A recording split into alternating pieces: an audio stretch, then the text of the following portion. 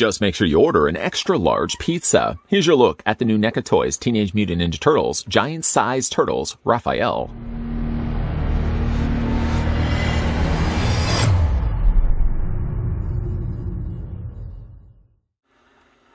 After being accidentally exposed to radioactive ooze, four ordinary household pets are transformed into a band of wisecracking, pizza-loving, villain-dicing adolescent reptiles. Meet Leonardo, the super cool sword-wielding leader, Raphael the jokester hurling manholes and one-liners in rapid succession, Donatello the brain behind the brawn, and Michelangelo the ice cream pizza gobbling party animal. Whether it's facing fierce enemies or saving humanity from near extinction with the guidance of their sensei, these heroes in a half shell are always ready for straight out of the sewer action.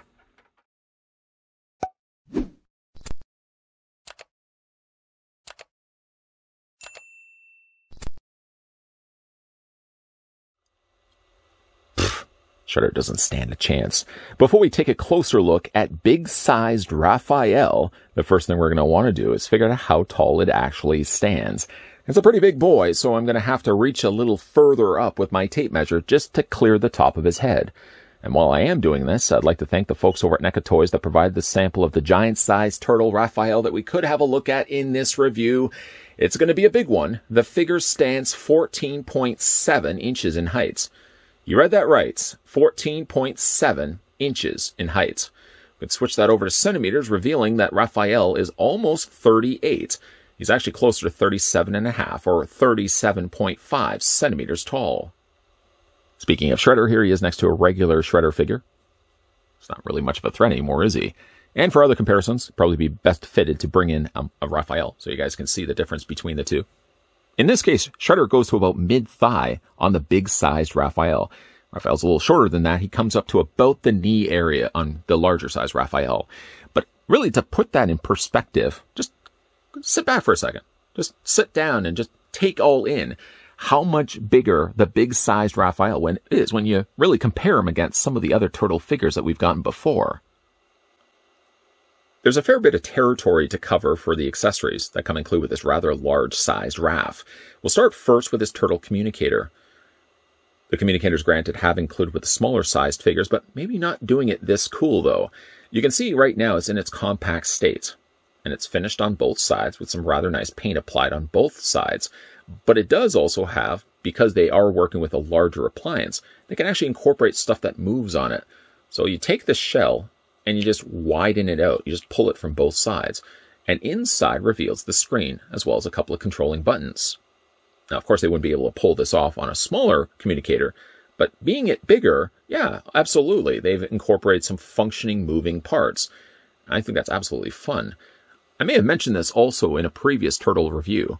Speaking of role playing, were we speaking of role playing? Well, speaking of role playing, just recently, they've started releasing Batman role-playing toys, or replicas, is probably a better way to describe them.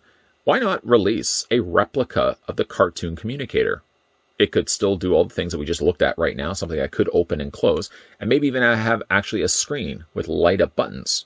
I think they absolutely could do that. I'm pretty sure there'd be a lot of collectors that would be on board getting a full sized cartoon replica of the turtle communicator that they had in the series.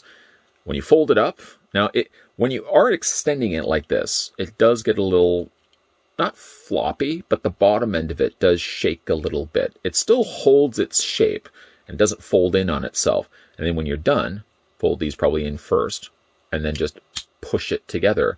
And then you can store it on the side of the turtle's shell.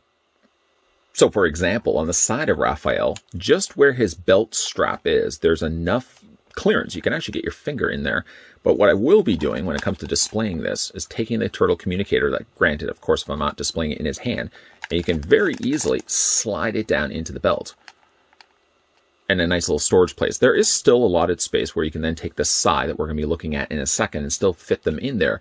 But I think that's just a perfect place, if you ask me, to store the turtle communicator, when of course he's not holding it in his hands. A big-sized turtle has a big-sized appetite, so to come in clue with the figure, NECA throws in three slices of pizza. I know what you're thinking, that's only two. Well, technically he does have a third, but these ones are close enough in shape and size that we would have a look at these first.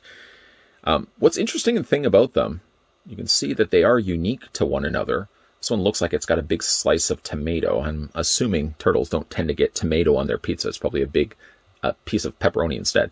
But there's also some mushrooms and a whole lot of extra cheese. But the neat thing about it, though, is if you aren't going to be displaying them in his hand, they seem to have interlocking pieces to it.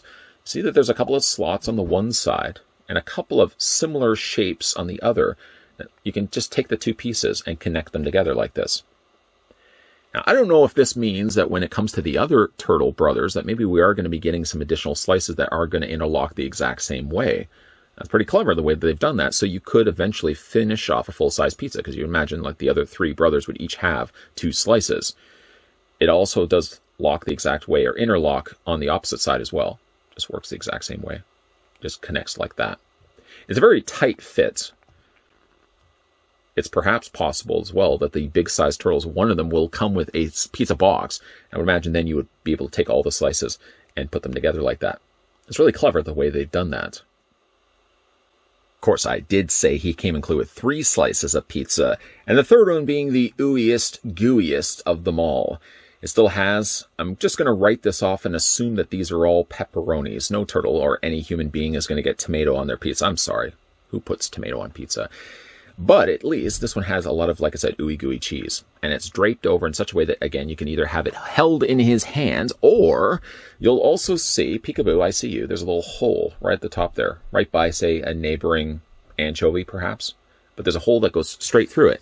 Take one of the sai that come included with Raphael, and similar to his smaller sized counterpart, you can actually spear through the pizza slice with the sai. And that's really super fun probably going to be displaying, I think. I mean, Raphael, I think, is one I would consider him doing this on display. So I think certainly when it comes to putting this guy out on a shelf, I'm probably going to have him displayed. But like I said, the sais spearing through the pepperoni pizza like this. Let's go ahead and remove this. He does come with two, a pair of sai, not pluralizing size, it's a pair of sai. He comes with two of these, and they seem to be identical to one another, making use of a gray plastic with now painted in handle in brown with some additional panel lining done in there as well.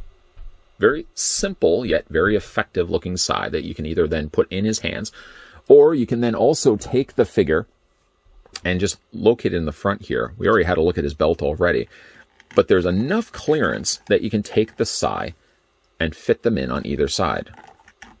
A sai on either side. Like that.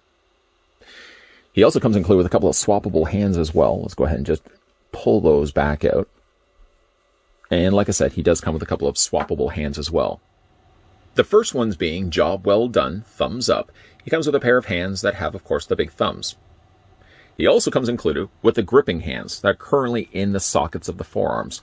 These, of course, come in quite handy when it comes to him holding the sai in hand. And all you have to really do is just pry the fingers a bit away. I've noticed actually that the plastic seems soft on the fingers, just to the right point where it's very easy to open up the grip and fit those sai conveniently into the palms. Also to come included with the figure, while we're still on the topic of hands, of course, let's get those out of his hand right now. He comes also included with these hands.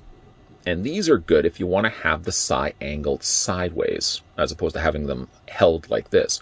All you really have to do is just pry this finger away, just get the hand in there, and then pry, like I said, this finger up like that, and then slide the sai in. Slide the sai in. And you get something that looks like that.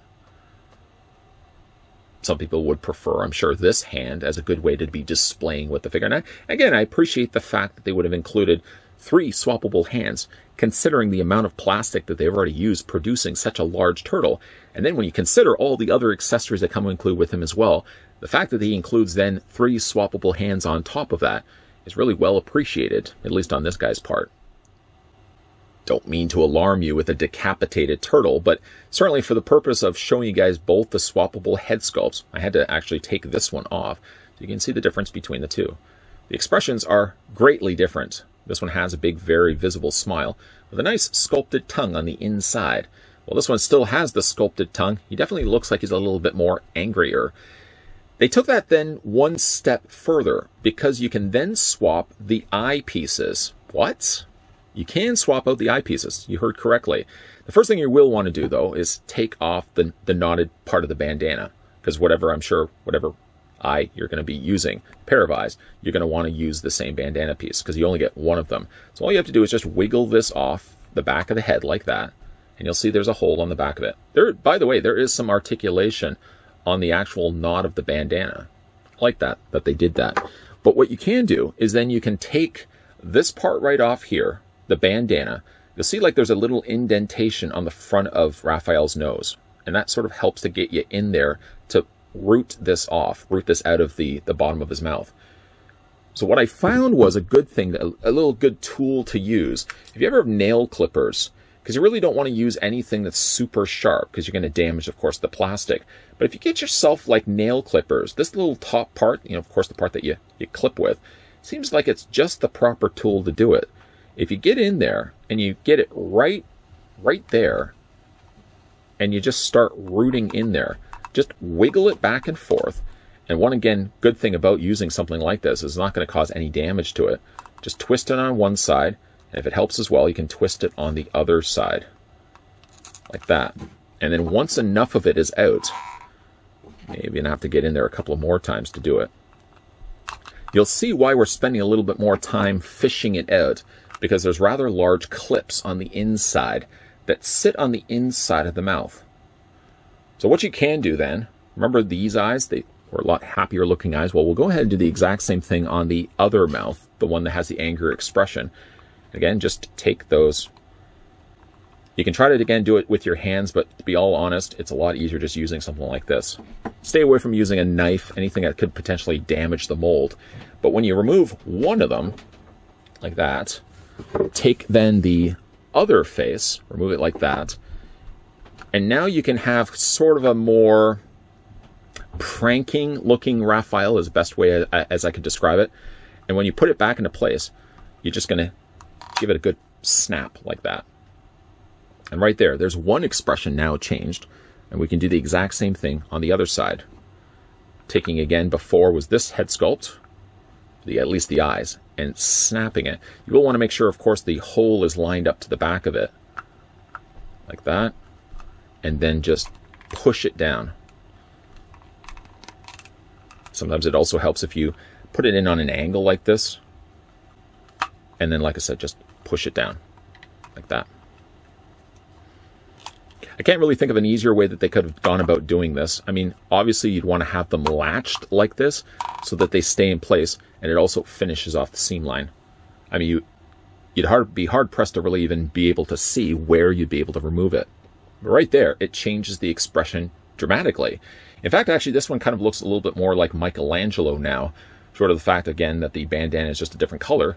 And here, again, we've got a more of a prankster looking Raphael, which is probably going to be the head sculpt that I'm going to decide to go with instead. And of course, the only thing missing from this then is taking the bandana and just fishing it back, just putting it back in. Fishing would be the opposite. Just feed that back into the hole. And of course, it helps while you're doing it just to twist it. But you really want to make sure that those holes are lined up. I don't know if you can actually see it. The inside, there's actually a secondary hole that has to then line up to the one on the outside. If you don't have them close enough or they're just off a line just a little bit, then the hole of the bandana, the peg of the bandana, won't properly fit in. Again, we'll just twist that in place. And then you've got a pretty nice looking Raphael. Probably my favorite of the four, I guess four or so different configurations you can go with. Now that we've settled on the head sculpt that we want to go with, Again, this is one of four different configurations because, right, you got two different mouths, two different eyes, and then you can swap it from there. I will say, though, to the credit of a larger scale figure, because it's not something I normally collect, I really think the head sculpt is superior on this versus the smaller scale Raphael. It probably is a best, best segue then to bring in the tiny little Raphael, comparing the two. And I know it's not 100% fair for me to make the comparisons because the head sculpts are different. Uh, clearly, the expressions are very different from one to the other. But I think that the paint is a lot nicer and applied a lot cleaner on the larger scale turtle. One thing also that the larger Raph has that simply the smaller Raph just doesn't is the little bit of reflection of light. See the little dots of white on the pupils? Smaller Raph didn't have that, but the larger one does. And I think it does add a little bit more personality to the head sculpt. Of course, when you look at the rest of the figures, very small sized Raph compared to the bigger sized Raph, really not much does change. The paint is pretty much the same. Although, because again, you, are dealing with basically a larger canvas, it gives them really an opportunity to pre- present a much cleaner looking paint job. Things like his R, for example, is a much sharper paint, whereas maybe the smaller Raph had a little bit more imperfections around the area of the R. Of course, now you can also see the R stands out a lot more. It does have that panel lining, which, to be again fair, when you bring in the original Raph, the original Raph had that as well. Though I think, just again, on a larger scale figure like this, it just looks a lot nicer and a lot cleaner. Similar to the original Turtles as well, we can spin this around so you can see it from the backside here. He has, similar to the original ones, the dark shadowing. It basically takes the existing color, so like for example this color right here, and it just drops a shade down a few. It's not really quite the same green, but it's certainly close enough that it gives you some nice shadowing. And that also carries on to the, the bandana as well, which is again something that the original Turtles also possessed as well. You've got the two-tone effect also coming into play on the front of the shell. As you can see, there's a little band of almost a beige color that comes down onto the side. And also, if you spin it around, something that we haven't yet really done in this review, and see the big sized shell here. Short of a few little places of paint that have found their way, unfortunately, onto the shell, the shell looks very clean, and I don't see really any imperfections. There are a few little sections where it seems like there's additional paint that sort of has been unfortunately applied on top of it. But other than that, like the shell looks really clean. And of course, it does add a whole lot of extra weight to it. I don't really think there's a lot of weight here, but there's a lot of more denser plastic definitely on the shell. Knock, knock. Who's there? As we certainly spin around the figure, you can see the elbow pads. The elbow pads are kind of actually interesting. I mean, really, the, the wristbands are there as well, but they're more of a solid plastic. But when it comes to the elbow pads, what they've done here is they've made these a softer plastic that goes over top of the joint. You'll see much more of it when we talk about the articulation on the figure, but it, it basically sits on top of that joint. And you can literally just move the elbow pad back and forth. Like I said, being a softer plastic like this. A little bit little further down on the figure, you got some nice panel lining making up the thigh area. Again, you got the knee pads done in that softer plastic, similar to the elbow pads. And as we get down to a, now a much larger pair of turtle feet, funny enough, they actually did put peg holes on the undersides. I don't know if I would really need to bring in display stands for this type of transaction. I don't feel like the turtle necessarily needs something to make him more stable. I mean, funny enough, I mean, you would think that a figure this size would have some difficulty standing. And quite, quite really the opposite. It probably helps as well that he's got the shaped feet that he does. He doesn't have to deal with smaller shoes that a regular, say, one quarter scale figure could have had. Because his feet are almost sort of fanned out like this, it gives him a little bit more stability. It also helps the fact that this particular turtle, all the big size turtles, are going to have ankle pivots. So you can sort of compensate because in a case like this, more of the weight of the turtle is further up than it is further down. Let's go ahead now and check out the articulation on big-sized Raph. So his head rotates back and forth. It is on that ball joint after all. Because of that, it can hinge up, it can hinge down, and you can rock it back and forth. But he does also have a secondary ball joint at the base of the neck. That means then he has some additional articulation where you can move the head beyond the point of what would normally have been the case if just, like I said, he had the one ball peg going there. You can also, when it comes to his arms, bring his arms out. I wouldn't necessarily say at a very comfortable 90 degree angle. I mean, the arms are a bit on the stiff side. I've noticed actually when I am moving the arms that they almost seem to have like a ratcheted joint working for them. Again, I can't quite pull off a full 90 degrees, but it's just just a hair, just a turtle hair. Does turtles have hairs? Just a hair off from that. You can bring the arms all the way around, of course. And I like this. I like that the elbow pad is a separate piece, that it stays out of the way. So when it comes to, for example, let's just move this, speaking of moving it out of the way, he does actually have two hinges. There's a hinge joint right there, and there's a hinge joint right there. That ends up giving you a double hinge on the ball joint, a double hinge joint.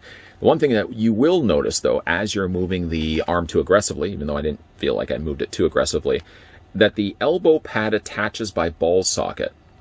It's interesting the way that they've done this, though sometimes when you are moving the arm inadvertently, what ends up happening is that that elbow pad then frees itself from the ball joint. So you may have to then just go in there and fix it up afterwards. Uh, the hands do rotate all the way around, whatever hands, of course, you decide to display him with, and they also hinge back and forth. He does also have an upper torso ball joint, which is sometimes hard to access when it comes to these turtles simply just because they're heroes in a half shell. Shell in the front, shell in the back, and then you've sort of got the articulations sandwiched in the middle. But he does have a ball joint, so essentially you can rotate at least the top half of it back and forth. You're really not going to get a whole lot of leeway being able to do that, simply just because he's self-contained. Shell in the back, shell in the front. Then for his legs, his legs split out, and very much you can hear a ratcheted joint working behind the scenes. It means that the joints on the legs not only are going to be loud to the neighbors, but it also means that the legs are going to stay stable and strong, not get loose over time. He does have a double hinge on the knee, um, he doesn't have any articulation that I've seen on the lower leg of things where you'd be able to rotate the leg back and forth. I, there's just a little bit, but I think actually the joint is further up here. The joint's right there where you can swivel it back and forth. Same thing applies, same rules apply as the elbow pads. See, there's a knee ball joint right there, and that just tabs into. I guess they did that so that you could plug these in place and then you wouldn't have to worry about the, the knee pads and the elbow pads just shifting around on you. But like I said, he has double hinge joints on the back there. Uh, for his feet, they move back and forth this way. You can also hinge them up and down this way. And the only thing that this one doesn't possess, not that I really feel it needs it, is he doesn't have toe articulation. He has foot articulation and he has ankle articulation, but he doesn't have any posability in the toes. And again, I don't feel necessarily that Raphael needs to have it either. At the end of the day, you've got yourself quite the large looking Raph that you can put on display. And yes, in fact, if you do want to make the rest of your collection feel inferior, you can bring in one of these smaller scale Raphs and put them on display next to it. Of course, one thing that benefits this line is not only do you get oversized figures, but I feel like improvements have been made versus the original ones that we looked at before. Going also bigger allowed them the opportunity to incorporate some fresh new ideas like swapping out eyes and mouths. So you can have four different configurations, four different configurations that you can put your big sized Raph in when it comes to displaying him on your shelf. When it comes to NECA's new release of their TMNT giant-sized Raphael, I feel like the accessories as well as the new ideas brought to the table only benefit by the fact that the figure is already 15 inches tall. What I mean by that is like the turtle communicator. One of the things I really liked about the included accessories the fact that it does open and close and have hingeable antennas is nice, but I don't think it's something that could be pulled off successfully with the smaller scale turtles. Because of course you're taking the idea and you're having to shrink it down and still make it manageable. I don't think you'd be able to do that.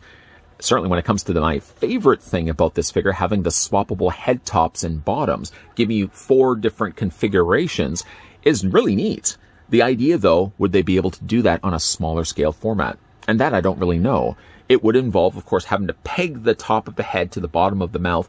Maybe this is just something, their waters that they're testing right now to see if it's something that they could do on a smaller scale format. If it is just the case where this is something that they only can do on a 15 inch tall turtle, I like the idea that it wasn't just a larger scale Raphael that we got here, that it wasn't just the sai, and it wasn't just pizza slices that we've seen before with other releases, but know in fact, that NECA Toys brought something new to the table. And that's all the more reason why you want to get excited for a line. It's not only the size that they released them as, but it's the things that can come along with it. Some bright, fresh new ideas. A big thank you to the folks over at NECA Toys that provide the sample of the giant-sized Raphael. He's 15 inches tall. Can you believe that? That we had a look at in this review. Let me know down below in the comments section what you guys think of the giant-sized Raphael, and if you've managed to pick this one up for yourself. Also, if you're new to this channel enjoying all the content you're seeing, be sure to hit the subscribe button down below and turn the bell notification on and that keep your peepers peeled to this channel because not only are we going to be looking at some more turtle releases, but we are also going to be looking at some more NECA releases as well. And as always, thanks for watching. See you guys next time.